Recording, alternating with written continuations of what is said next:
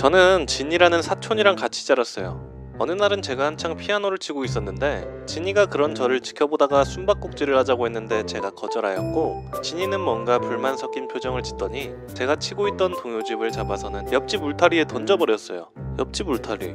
넘기만 하면 되는 곳이었지만 제게 큰 문제인 옆집에는 감자라는 리트리버가 살았어요.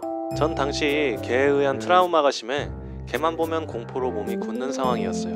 우물쭈물하다가 감자가 평소 묶여있던 걸 생각하며 조마조마한 마음으로 울타리를 넘어갔는데 하필 그 집 할머니가 감자를 마당에 풀어놓았고 감자는 동요집을 주워들던 저를 발견하고 꼬리를 붕붕 흔들어대며 제게 돌진했어요. 당연히 전 그 자리에서 몸이 굳어 비명을 지르며 엉엉 울었고 그 소리에 그 집 할머니가 나오셔서 절 발견하시고 안아서 달래며 데려다 주셨어요. 저희 할머니는 우는 저를 달래며 왜 그 집에 갔는지 물어보셨어요.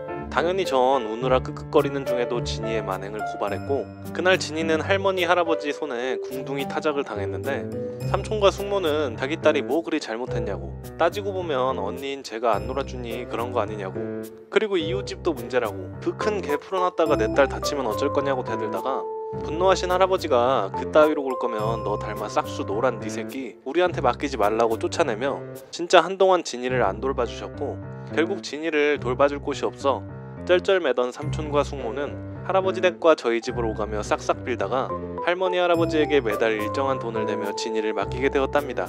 아 그리고 그 돈은 착실히 저에게도 간식비 등으로 쓰였고 그걸 알지만 진이가 아무 말 못하던 그 모습은 지금도 속이 시원하네요.